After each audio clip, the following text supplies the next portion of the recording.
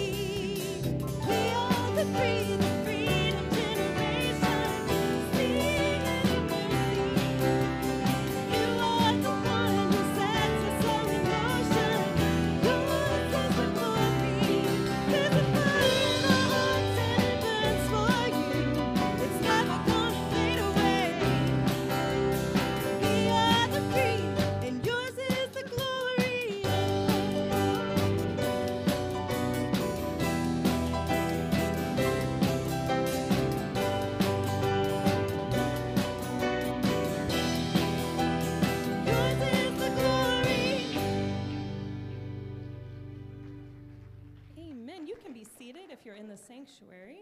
And any kiddos that are here this morning are welcome to come join Miss Paula in the front for a very special children's message. Good morning, friends. Come on up. If you're here in the sanctuary, I want to say hello to any friends worshiping with us at home today. We are glad you are all here. Happy four days before Thanksgiving. You, all, you guys are going to go home and cry because there's no school next week, right? You're so sad. I'm not. You're not? You're ready for the break? Okay, so how many of you have carried a backpack either to school or maybe to daycare? You guys use backpacks? You know what a back? Yeah, yeah, right? Okay, so I have a backpack here. There's nothing in it, right? It's very light. Um, you want to come help me? I need a volunteer. Logan, I saw your hand up. You want to come help? Okay. Beth, you want to come help? Okay. So we're going to put this backpack on Beth this way. This. Is it light or heavy? It's light, right? There's nothing in it, right? Okay. So now I want you to think about some things that you worry about. Things that you worry about. Have that in your mind. Worry means when you feel nervous or upset, maybe concerned, something that's troubling you, right? And when you're scared, exactly. So, Beth, you want to put this on? Okay. Anybody? Okay, Pinky, you want to come help? Have a seat, Beth. Nope, nope, nope, nope, nope, nope. All right, Pinky. All right. So we all have worries, right? So, what's some things that worry you guys? We may be worried about bullies, right? May have bullies at school or in our neighborhood. We may be scared of the imaginary things underneath our beds. I know when I was a kid your age, I was scared of the imaginary things under my bed. We may be worried about maybe a test or an assignment at school, right? I know I get nervous or worried when I have to go to the doctor. Anybody else get nervous when they have to go to the doctor? And then I worry about my friends and family who maybe are in the hospital or maybe have to have surgery. And then I also worry when I know there's a hurricane, a flood, or a thunderstorm coming. Okay? All right, Pinky, how's that feel? It's heavy? How heavy is it? Pretty heavy, right? Different from when there was no worries in there, right? Great, thank you for helping. You can take that off now. So look how heavy it is now, right? With all of these worries, look how heavy the backpack is and how it can weigh us down. Now, in our Bible story today from the book of Matthew in the New Testament, it tells us that there's, there was a large group of people who were gathered around as Jesus was teaching. Now, Jesus said, Don't worry about whether you have enough food or drink or enough clothes to wear. Look at the birds in the air, he said. They don't worry about where their next meal is coming from. The Heavenly Father, or God, will take care of them. And why worry about your clothing? Jesus asked. He said, Look at all the flowers out in the field. They grow, they don't need any clothing or worry. If God takes care of all of those things wonderfully, the birds and the wildflowers, He will surely take care of you. So, worrying is when we're always thinking about what we need and not trusting God to take care of us. And we learn from our Bible story today that God takes care of the birds and the flowers he feeds them and makes sure that the flowers have enough water and sunshine each spring so that they can grow. So instead of worrying, we can trust that God will provide for our needs too. When we are worried, we can pray and tell God all of our problems, and we can trust that He will hear us and give us what we need. We can practice gratitude, which is thanking, thankfulness, thanking God for everything. And it can take worry and change that into peace because of God's help. We can focus our thoughts on God, thanking Him for all the good and some of the bad things that happen, and that will lead us to peace. And peace is when we have a quiet, calm state of mind and we're not upset or bothered by anything. Now, does this mean that we can just sit around and wait for food and clothes and all the things to just drop out of the sky? No, no. God provides for the birds, but He doesn't throw the food into their nest, right? They have to work and go gather up their food, right? And God provides clothing for us by giving our parents jobs so that they have money to buy us clothing and food. Or maybe you have friends and family who give you food or clothing, right? So God provides. So in my backpack, if I turn all these worries back over to God and talk to God about it, God, I'm worried when I go to the doctor. God, I'm worried about my grandma in the hospital. God, I'm really worried about that test that's coming up. I'm afraid of the dark and I'm worried about sleeping alone in my bed. I'm really worried about the person at school that's not so nice. When we pray to God and talk about all of that with Him, look what it can bring us. Somebody read it to me. Peace. It can give us peace. And look how light my backpack is now. I turned all of those worries over to God, and God gave me peace and now my backpack is light and I don't have a heavy load to carry or weighing me down.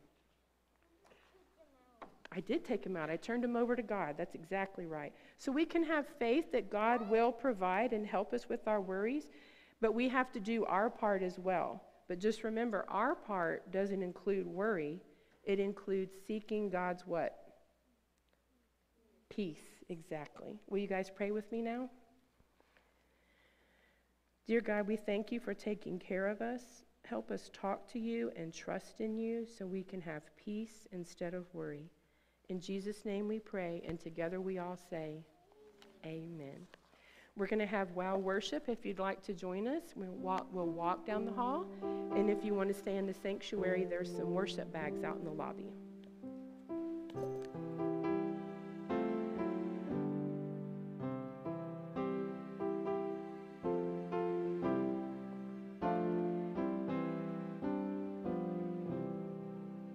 Well, good morning.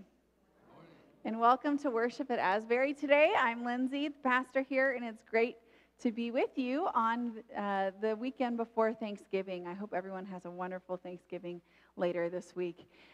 um, oh gosh, I started to feel bad for Paula when my daughter Beth was being, a, and then I thought, you know what? She she asked her up to get up there, so it's on her. Uh, Anyway, uh, I have a couple of folks I'd like for you to be praying for this week. Ernie Alsterbrook has been in the hospital now for like two months, and then he's just having a rough go of it. So please be keeping him in your prayers. Dorothy Fink had heart surgery a couple weeks ago. That went well, but then this past week she fell and broke her hip. So um, please be keeping her recovery um, in your prayers as well.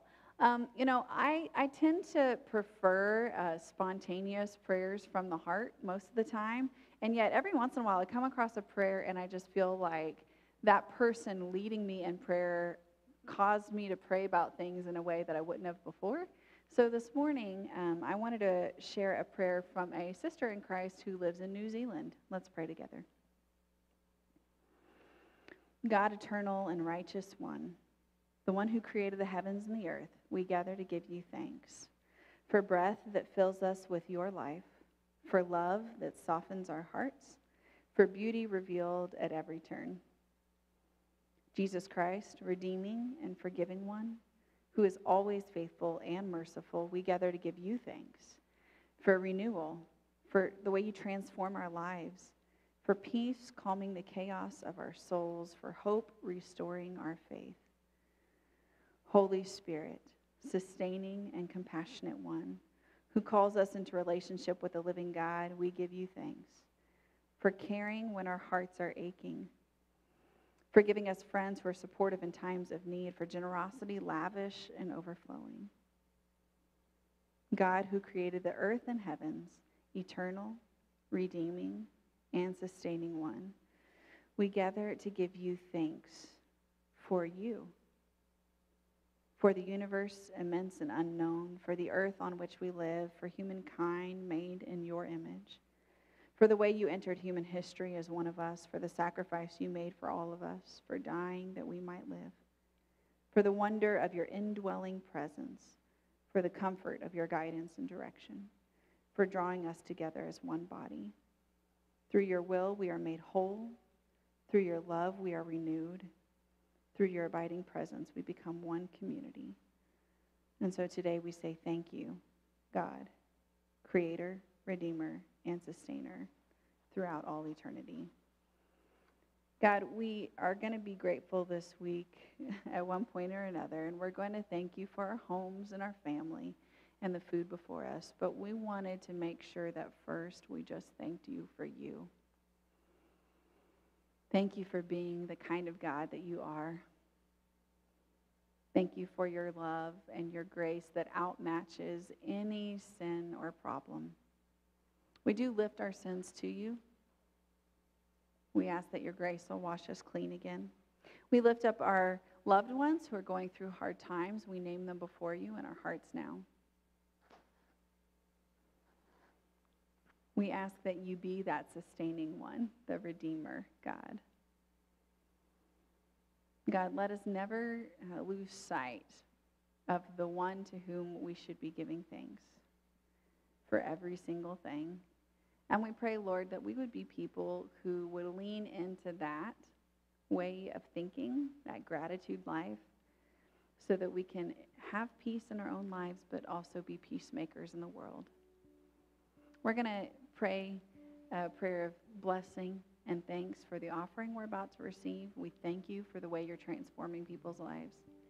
We pray all these things in the name of Jesus, the one who taught us to pray, saying, Our Father, who art in heaven, hallowed be thy name.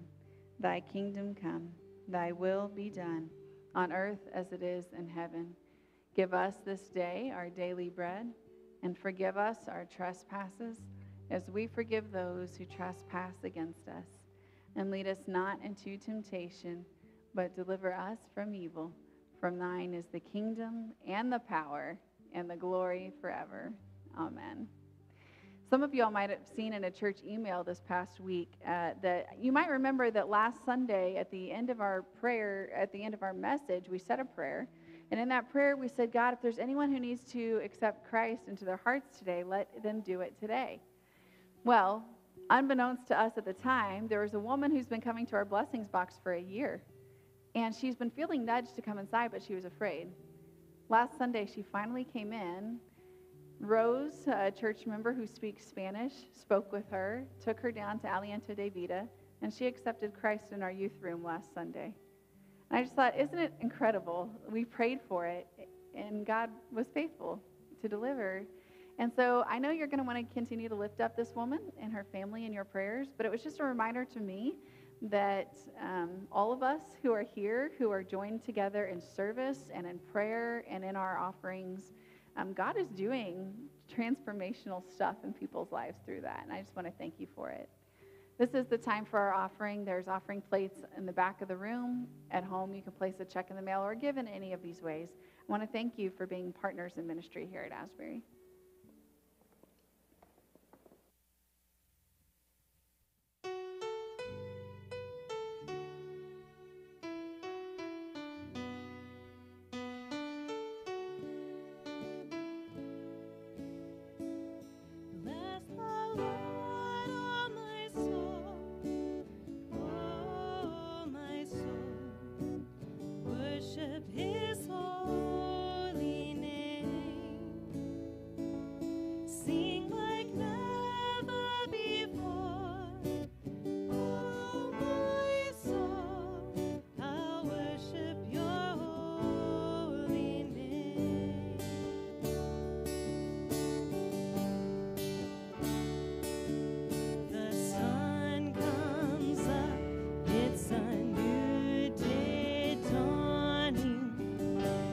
time to sing your song.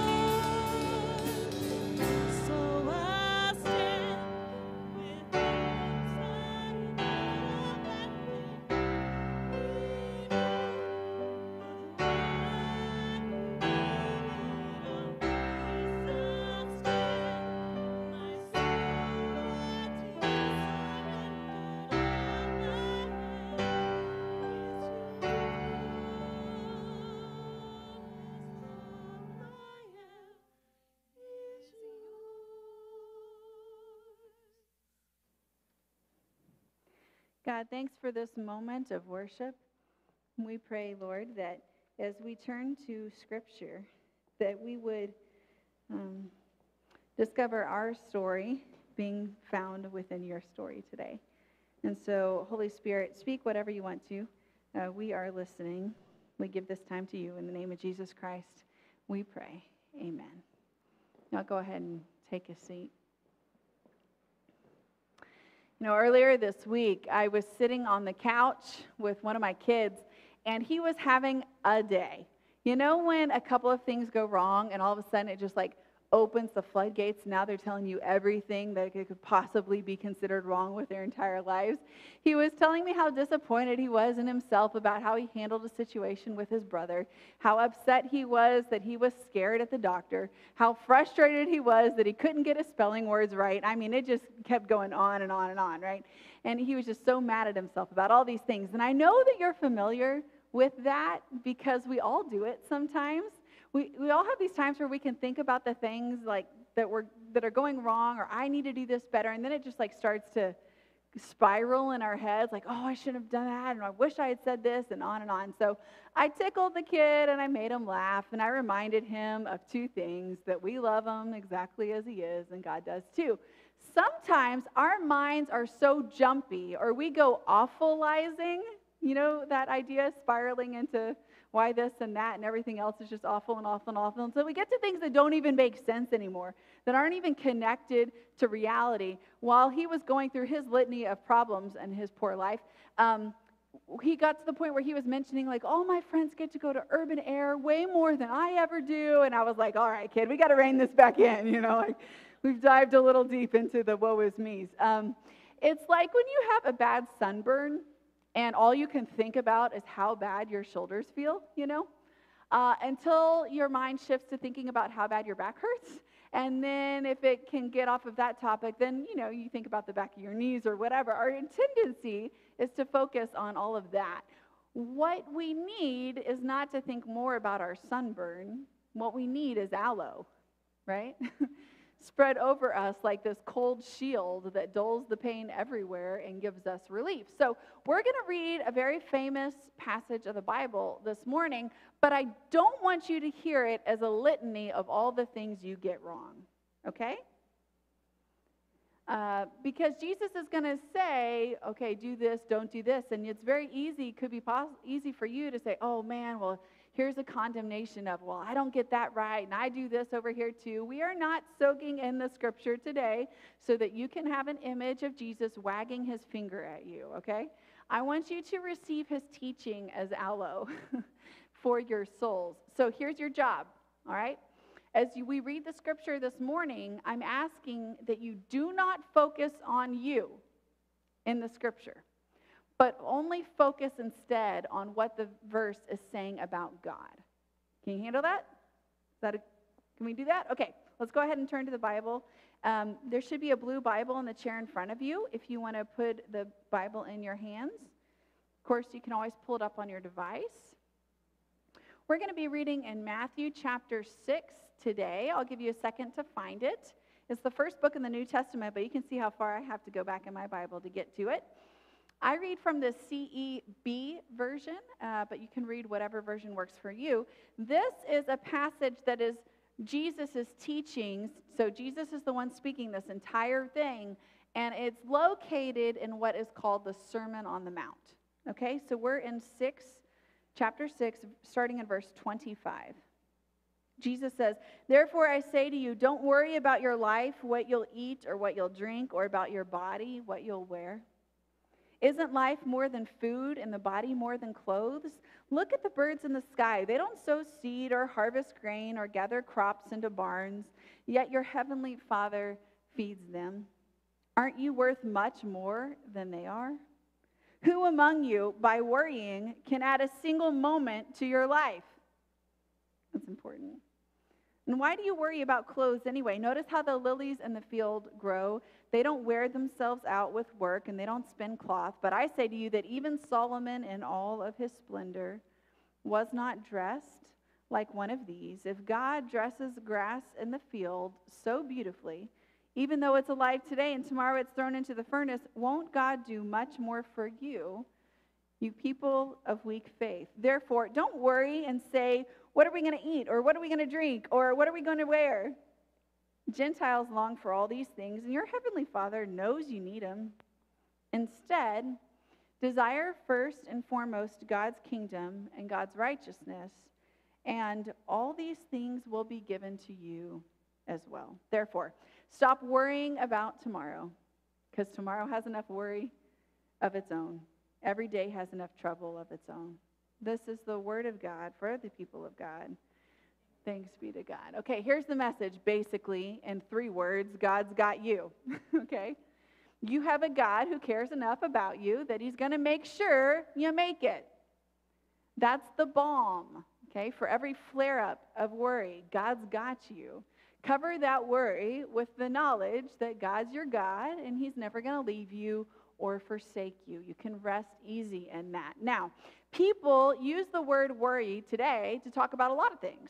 So let's look at what it actually says in the original language in the Greek. Sometimes we use the word worry just to say, like, oh, I'm a little worried about that, or meaning like we're concerned about it. It's something that we know we need to give a little attention to. That's not what Jesus is talking about here. The word in Greek is merimnate, okay? And throughout all of these verses, every single time it says worry, it's using the word merimnate, which means specifically a troubled thought, okay? So it's not just something that you like, you have awareness that you need to be concerned about it, or maybe you should do something. It's something that's really troubling you. And every time we talk about something like anxiety, I think it's important to say that while we are looking through the lens here of our spiritual tradition to see what it can offer us about anxiety, doctors and medicines also have a very important place in dealing with it. And it's not one or the other, but a lot of times it's both. And thank God that Jesus says what he does, because in one sentence he says, Don't worry. Don't allow yourself to have troubling thoughts, which seems like a pretty high hill to climb, right? And then by the end of the passage, he says, Well, don't worry about tomorrow, because each day has its own trouble. Trouble, troubling thoughts. In other words, even while I tell you not to worry, I know that every single day is going to have its own troubling thoughts. It's going to bring up its own causes for worry. So I don't think the teaching here is that we should expect to like banish worry forever, but just not to live from that place, not to make decisions from that place, spending our time and our energy anticipating even more worry than what the day really will bring on its own. That's that there's things that we can do to diminish its power and influence over our lives. Now, Many people in our community are worried about the necessities in life. They don't know where food is coming from tonight. That's why we have our blessings box. They don't know how much longer they're going to have this roof over their head. Their kids are growing and they can't afford to buy them new clothes. That's part of why we do Angel Tree. They're in survival. Are we really going to make it? Is their question. These are reasonable, troubling thoughts. And Jesus is teaching here is that over time we can grow and trust that even in that kind of situation, God's got you. He uses his church body a lot of times to provide that care. But some of us are fortunate that we don't have to worry about whether or not we're going to have food tonight. And we don't have to wonder if we can if we have clothing to wear, right? If we need those things, we go buy them. Done. But that doesn't stop us. We just make up other things to worry about, right? A couple weeks ago, a friend told me something that has seriously troubled me ever since. Or at least he was a friend before he told me this. He said that this particular bug that exists that I hate so much that I won't even say the name of it, that researchers who study that bug gradually become allergic to it over time. That's weird and that when they become allergic to it, they simultaneously become allergic to one other thing coffee, specifically pre ground coffee. Let that sink in for a second. Okay? When I realized what that meant, I was horrified. I put my face under a blanket. Days later, Wednesday morning, I was trying to pray before I got out of bed, and I couldn't because all I could think about was coffee. And now I need to change my life because it's never going to be the same. And whole bean coffee is going to be what I have for the rest of my life. Got to throw everything else out. It's what is what my friend said true? I don't even know. I don't know. I haven't looked into it to see if the research is verified or if it's been peer reviewed because I don't want to Google it and accidentally come across a picture of the thing. So I'm just living with worry, with a troubling thought. And now I've gifted that little tidbit of information onto you to ruin your lives too. You are welcome. That's the beautiful thing about worry, though. Like, it doesn't even have to be real, it just gives us something to think about. And it doesn't have to be, you know, tied with reality in any way at all. We are incredibly gifted at coming up with things to worry about. It's a talent. And if you don't have real things to worry about, you can just make some up just to fill the space in your brains. I mean, Jesus recommended substituting worry with seeking first, focusing our energy first on God's kingdom and on his righteousness, his justice. But why do that when you can worry instead?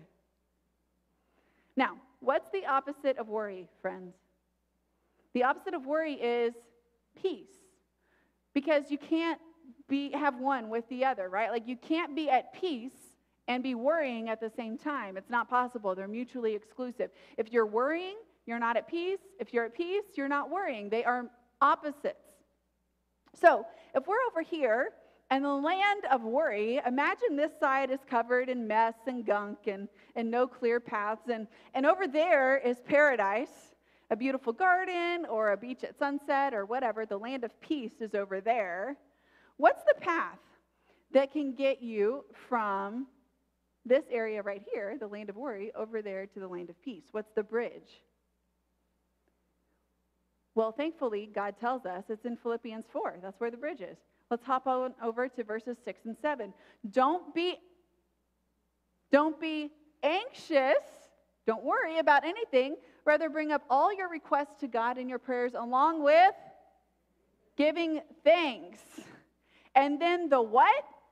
Peace of God that surpasses understanding will guard your hearts and minds in Christ Jesus. Over here, You've got the option to live in anxiousness and worry if you want to. And over there, you've got the option of living in a depth of peace that is unreasonable, that doesn't make sense considering the circumstances. And what is the bridge from one to the other? Sharing your concerns with God and giving thanks.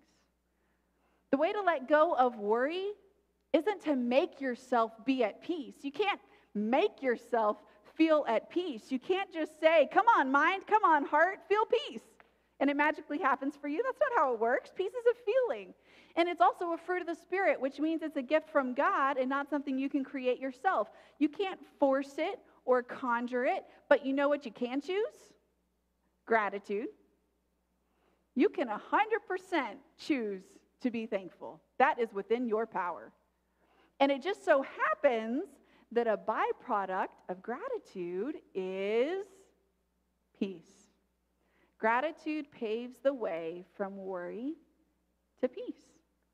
Michael Z is a member here at Asbury. I'm not like a huge fan of the word member because it kind of sounds like a country club. So let's say like ministry, he's a ministry partner here at Asbury. And one of the interesting facts of Michael's life is that he was adopted uh, by um, a father.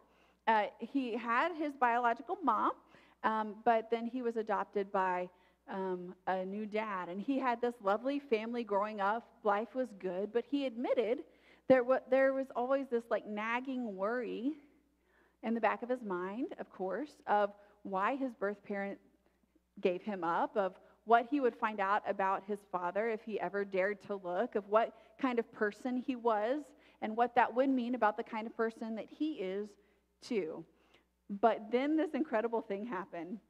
There's this number one reality show in the country of Greece that is all about reunifying families.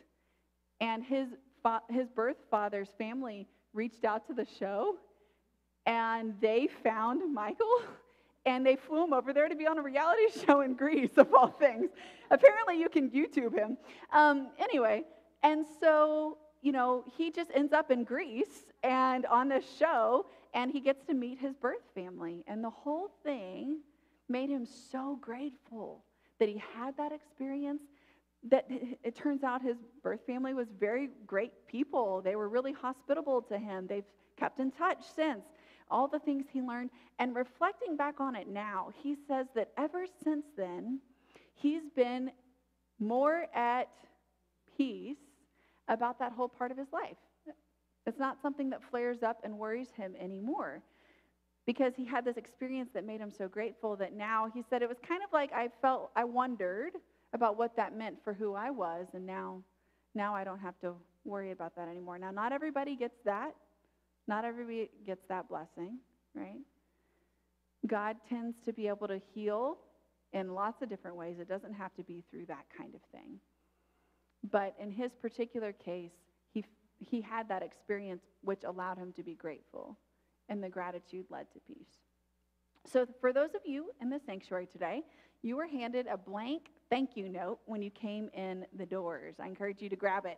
For those of you who are worshiping online, if you have a blank card somewhere in your house, you could go grab one now or you could get it after worship. Here's what I want you to do I want you to write a thank you note to someone that would be surprised to learn that you're grateful for them.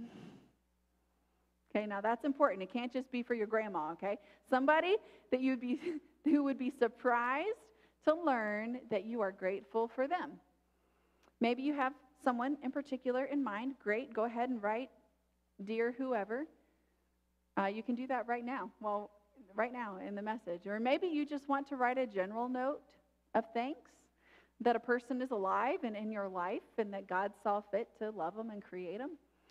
I want you to reflect for a moment how this person might be one of God's gifts to you and what way you could end up experiencing this person as a gift in your life. So go ahead and spend a moment, moment writing a thank you card to that person, okay? Okay, while you're right, Thanksgiving is not just a day. It is not just a prayer before a really delicious meal. It is a way of life every day. It's the way from worry into peace. And let me just point out the obvious the bridge goes both ways right? which means that not only is gratitude the way to get from worry to peace, but the way from being at peace to get back into worrying again is a lack of gratitude. You see that? And when we lose our ability to be thankful in any way, we just kind of start inching ourselves back across the bridge in the wrong direction. Now, back in Matthew, our passage today ended with what some scholars have called the secret of Jesus his one most important guidance for how to navigate life. Seek ye first the kingdom of God and his righteousness, and all these things will be added to you. As one writer put it beautifully, the goal here is to be unselfed and in Christed. You might want to write that down. I'm thinking of making that a focus of my prayer life next year. The goal of being a disciple of our discipleship pathway here at Asbury is to be unselfed and in Christed. Our worries, though, distract us, enfeeble our ability to seek Christ first because they're begging to take first place in our lives. So, gratitude not only paves the way to peace, but also paves the way to our ability to seek God's kingdom first, which is why he's talking about it in the very same passage. It clears the path of the worries so that God can be first. Now, Hastings gives this image of a woodsman wielding an axe, okay? And all of his skyward strokes are feeble, couldn't cut through a thing. Because even though he's using his power, the same power he's about to use to come down, he's working against the power of what? gravity, right? But the same arm then swings downward. And now each of the downward strokes has a double power the power of his arm and the power of gravity, When we seek anything else first, friends, when we're scurrying around trying to put out fire after fire, chase down worry after worry, every single one of our strokes is an upward stroke. But when we live out the character of Christ, the fruit of the Spirit love, joy, peace, patience, kindness, goodness, faithfulness, gentleness, and self control when we see Christ's will and purpose and goodness in the world, then we have not only the power of our own effort, but now we're joining with the power of God too. So everything we spend time and energy on is more powerful than anything that we could do on our own because it is in concert with God's power. You see how that works? Does that make sense? So, I have a challenge for you today. Take that thank you note that you're working on or you will be working on and actually give it to that person this week. I know. But we can't only pray about gratitude, we actually have to live it. That's how we complete the prayer. So let's put it to work, okay? Because gratitude paves the way to peace. And it also paves the way to diminishing worry and paves the way to seeking Christ first. If you wrote a general note of thanks, then just hand it to somebody as you leave worship today. Or if you're worshiping at home, hand it to a person you come across this week. Let's walk the walk of gratitude until it lands us safely in the land of peace. Let's pray together. God, we thank you for your word because it's so rich and full and has something to speak to us all these years later. We pray, God, that, um, that we would be able to practice gratitude, that we would seek it out even when it's really, really hard, even when nothing about our circumstances makes it easy to find a way to be grateful. Let's be seekers of it so that we can also be at peace and be peacemakers in the world and seek you first. In the name of Jesus, we pray. Amen. Thank you, Lindsay. What an amazing message to leave uh, worship with today and to head into the week of Thanksgiving. We have a new song that we um, encourage you to stand with us if you're in the sanctuary where we're going to sing. It is called I Thank God. It's appropriate uh, coming off of this message of. of being thankful to find peace in God. So let's sing together this morning.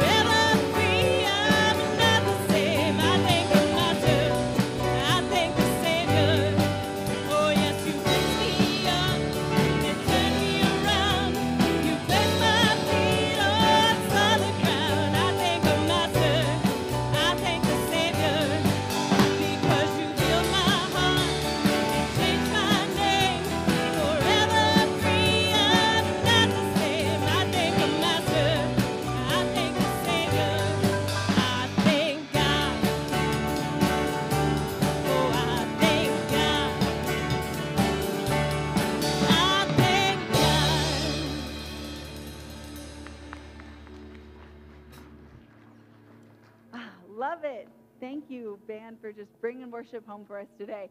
Thanks so much for being in worship with us. We hope we get to connect with you next Sunday. Prayer partners will be here um, if you'd like to have someone pray for you as we close out the service today. A couple things I want to remind you if you want to hang out with us, we have pizza in the kitchen and we're going to be putting up Christmas decorations right now. And also, if you're as you're going out the sanctuary today, turn right and go over to the angel tree and uh, check out maybe one of those kids that you can bless this Christmas. This past week, we were able to share Thanksgiving with 75 families in our community. We are excited about that. We're praying blessings on their families, and we hope to do a similar thing at Christmas for our neighbors too. As we go from this place, remember God goes before you to show you the way, behind you to keep you moving, above you to watch over you, beside you to befriend you, and within you always to give you peace.